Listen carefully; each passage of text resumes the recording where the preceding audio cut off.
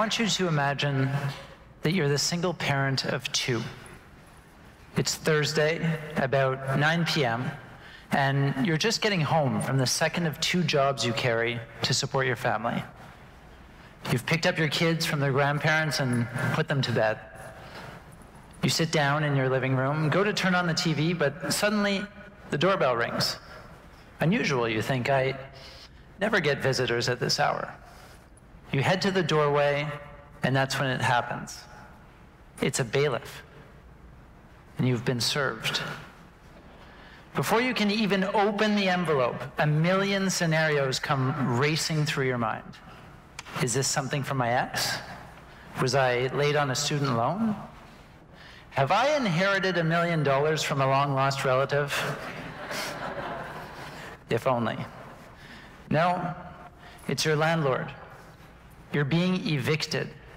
You have 30 days to pack up your things and find a new place. You read the notice. Not quite agreeing, and worse, not quite understanding what rights you do have. This is Mary's story, but it could just as easily be yours. When I applied to law school some 15 years ago, I thought that if I was lucky, I would be the lawyer to protect the defenseless and the vulnerable. I thought that I'd play some role in reducing the inequality gap and in bringing a greater sense of justice to those for whom the law seemed totally inaccessible.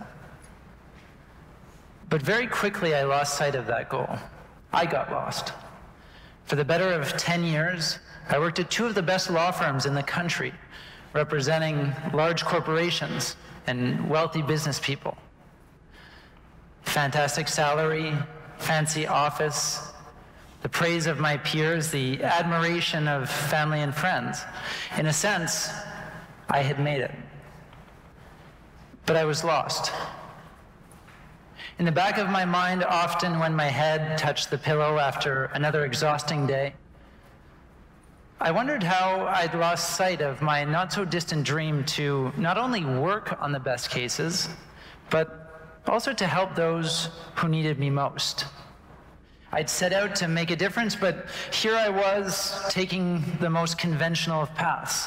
Now, for a time, I was able to appease those inner thoughts by volunteering my early mornings and late evenings to charities, foundations, nonprofits, I was even able to fit in a little bit of pro bono work of my own, thanks to some very understanding bosses. But I wondered for how long I could go on with one foot planted in my real job and the other in projects that, in my view, would help make the world a better place. I became obsessed with the endless canyon that seemed to exist between, on one side, how I earned an enviable living, and on the other, how I wanted to give back to society as much or more than what I was taking from it. Now, luckily, from that obsession grew the determination to solve a problem. How could I continue to represent clients who could afford me? while also defending individuals and organizations who didn't have the money to pay for a lawyer. I feel fortunate to be standing here today in front of you as the founder and chief executive officer of the first one for one law firm in the world. For every hour of legal services we provide to paying clients, we give back one hour of pro bono to low income individuals, nonprofits, and early stage entrepreneurs. We bill an hour, we give back an hour. Some call it paying it forward. I like to think of it as the way we should be doing business in the 21st century.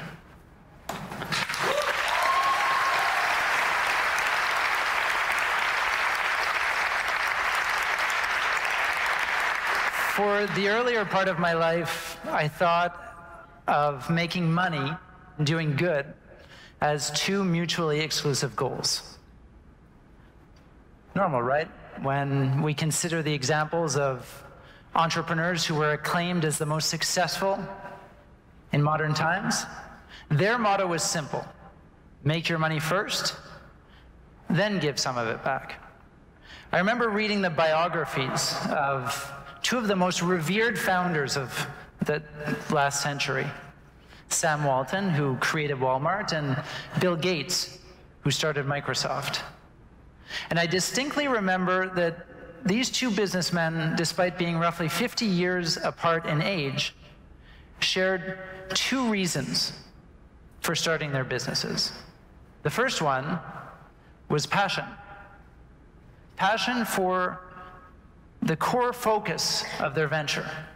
For Gates, it was innovative technology. For Walton, it was providing consumer goods at the best possible price. See, companies fundamentally cannot succeed if their founders aren't all consumed by their industry, product, or service. So the notion of the passionate entrepreneur makes a lot of good sense. The second was an obvious one profit. Gates and Walton wanted to make money. Thanks to some savvy business sense and some pretty good ideas, well, we now know that they ended up making a lot of it. And don't get me wrong, I don't think that this is a bad thing. Making money to support oneself and, in many cases, provide for his or her family has and will likely always be an essential reason for entrepreneurship. So, we have these two key motivations that have driven entrepreneurs for just about as long as we can remember. But I guess a big part of why I'm here speaking to you today has to do with my belief that in this era, at this specific moment in history, there's now a third ingredient that's progressively being added to the recipe for entrepreneurial success. That ingredient is what we call purpose. To me, purpose has become the third reason and will soon be the third imperative why people should be starting businesses. Now, sure, I say this because of the increasing number of studies and analyses on the subject, but also because I myself run a purpose driven business that is growing faster than I could have ever imagined. I discovered the concept of purpose while I was still waiting in the most traditional of waters, in a world where profit per partner was often the only real way to differentiate between a strong law firm and a weaker one. But outside the walls of what had become my normal, I became aware of a small movement of entrepreneurs and executives who were thinking about business differently than we had been for the past hundred years or so. That movement was gaining speed. I remember feeling so inspired to learn, for example, that Patagonia strived to use business in their outdoor clothing business as a means to solve some of society's greatest environmental problems. Or that Ben and Jerry's thought of itself as a social justice company that serves ice cream. Where the founders behind these companies such as these converge was in their belief that purpose shouldn't be accessory to running a business, but rather that it should be really its raison d'etre. The more I thought about it, the more I realized that in this day and age, no one should be starting a business without, in addition to a viable economic value proposition, that business having an equally important proposition to move our society forward.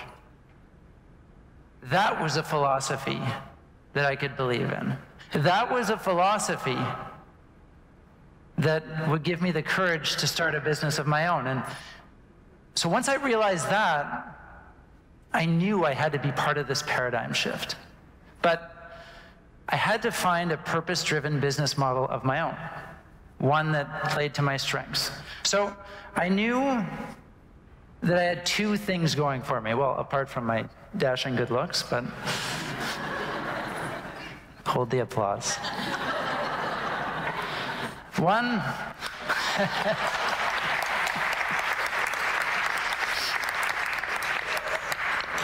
One, I was a pretty good lawyer. Two, I felt convinced that with the right idea, I could convince other talented, socially conscious lawyers to join my venture. So I thought for weeks about how I could con contribute to alleviating access to justice issues while continuing to earn a decent living. And in doing so, I realized that I had to stop treating business clients like one species and less fortunate ones like another. In the end, they were all just clients who needed a good lawyer on their side. And then I thought, I wonder how it would feel for a corporate client to know that just by choosing a law firm in particular, they'd be helping a woman on welfare or a nonprofit they believed in or a starving young entrepreneur gain access to a lawyer. What if I charged the business clients and help the needy ones for free? That was my idea. In practice, what we'd be doing was to ditch the fancy offices and the excessive executive compensation. Basically, we'd cut out the overabundance of luxury in order to spend more of our revenue on social good. Now, not only did I think that this was the right thing to do, but I was convinced that it would make us so unique in our market that potential clients wouldn't have a choice but to take notice. And so far, I feel as though betting on purpose was the best possible move we could have made. Our firm has grown from what was initially just my co founder, Sophie, and I, to a team of 12 legal professionals today. Now, not only do we have several multinational corporations in our client roster, but to date, we've also helped free of charge just over 300 individuals and organizations who, without us, wouldn't have had access to a lawyer at all.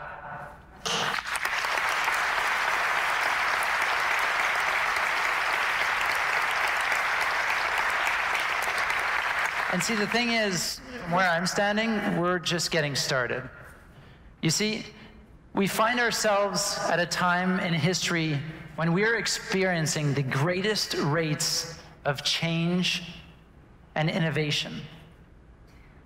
The next 10 years will present more disruption than the past 50 years combined. Get this. Since 2000, of the 500 Fortune 500 companies, 50% have disappeared. In the next 10 years, another 40% will become extinct. So, what do we do? My answer is purpose. Beyond cutting prices while still maintaining product quality, purpose may well be the only remaining competitive advantage available to business leaders looking to find themselves on the winning side of this disruption. Companies that integrate purpose will give themselves the opportunity to succeed. Businesses that don't won't stand a fighting chance. Now, there are three main reasons for this. One, purpose led brands are more successful in acquiring and retaining customers. Behavioral science tells us as much. People buy things that make them feel good about themselves, and people do business with brands they trust. The authentic story of purpose behind my own firm is helping us win customers every day and is critical to us winning even more. Say, just last week, when we were pitching for a potential new file, I knew we were being considered because we had the right team and our prices were fair. But I also knew this to be true of the two other firms vying for the mandate.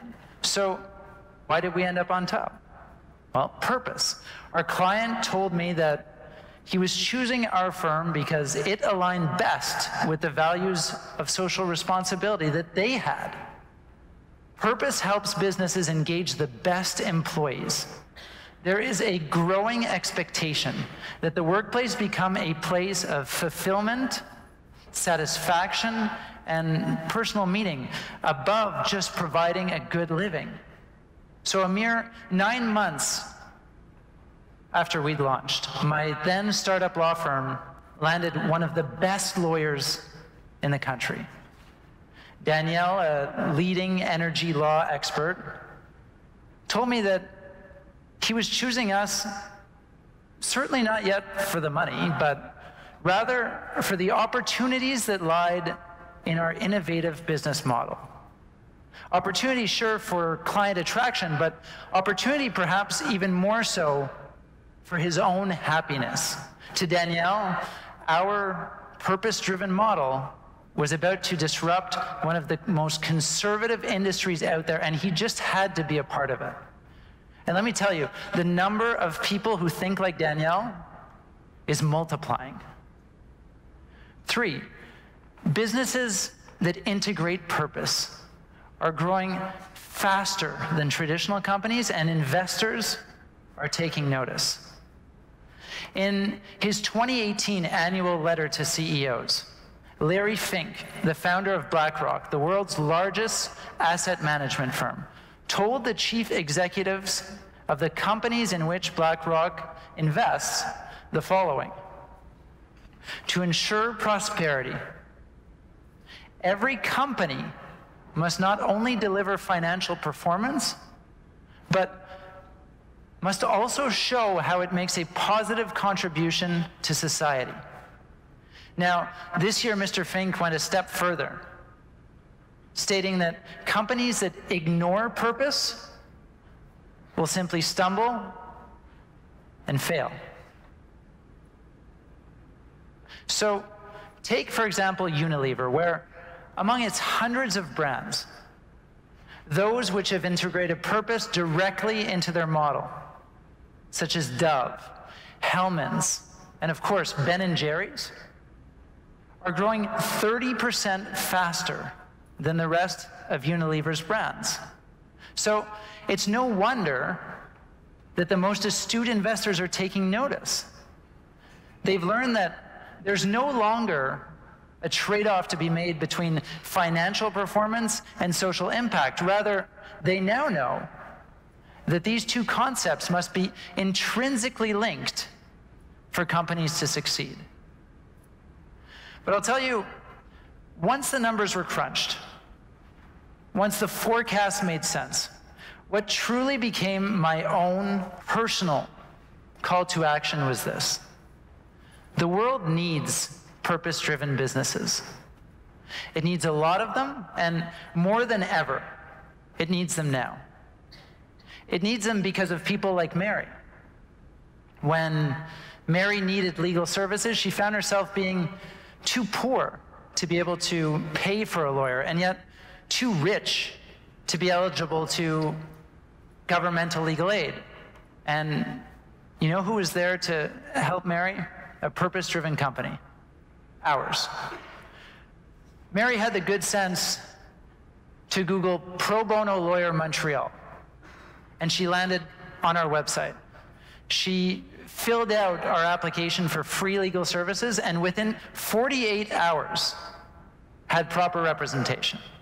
As the story goes, a lawyer from our law firm responded to Mary's eviction notice with a solid statement of defense and won her battle before the rental board.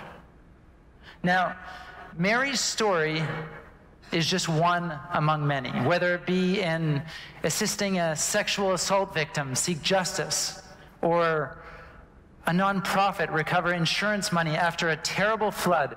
Every day, lawyers at our firm have the opportunity to do good while earning a good living. But the social impact that our firm provides is directly proportional to our economic success. The more paying corporate clients retain our lawyers, the more these same lawyers can help the most vulnerable individuals and organizations of society. So consider this. In 2017, the two largest law firms in the world each generated just over $2.1 billion in revenue. Our firm, by comparison, will reach a million dollars for the first time this year while providing 3,000 hours of free legal services. Now, I'm not saying that every firm out there should be allocating 50% of its time to pro bono like we do, but just imagine if purpose was placed at the core of the model of every single law firm in the world, how much access to justice would increase. How many individuals and organizations would still be lacking proper representation? Not many, if you ask me. And this is why I firmly believe that the greatest opportunity to solve some of society's biggest challenges lies in the hands of businesses, and perhaps even more so in the minds of those who will create the next innovative law firms, and even the next Microsofts and Walmarts. Perhaps one day, social entrepreneurship will simply become entrepreneurship.